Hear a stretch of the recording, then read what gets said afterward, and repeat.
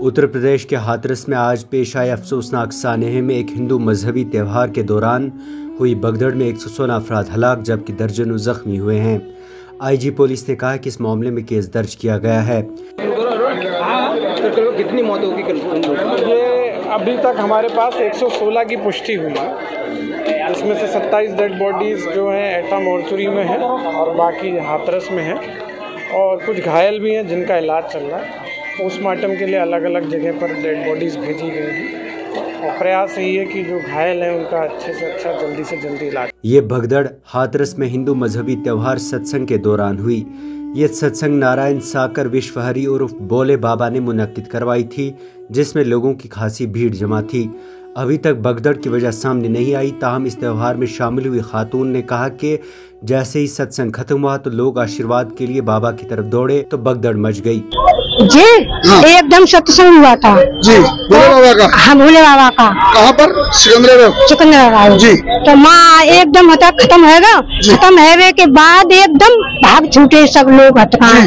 सब भागे तो माँ सड़क ऊँची नीचे हटकाए वो नालों से। हाँ। तो गाँव में एक के ऊपर एक के ऊपर एक एक के ऊपर एक।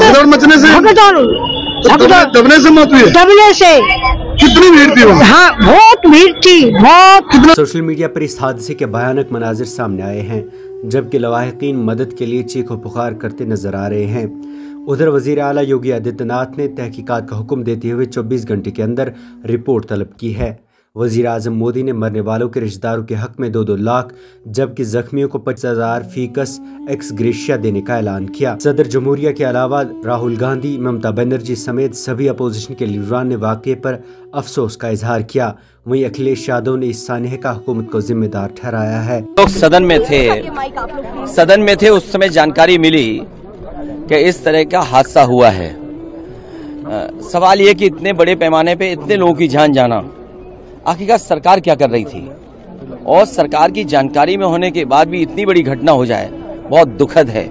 सरकार की ज़िम्मेदारी बनती है कि अगर किसी आयोजन में इतने लोग इकट्ठे हो रहे हैं या इतने लोग आने वाले हैं तो आखिरकार उनकी सुरक्षा, उनकी व्यवस्था के लिए सरकार ने क्या किया, ये सबसे बड़ा प्रश्न लगता है। ब्यूरो रिपोर्ट, नौ के कलम।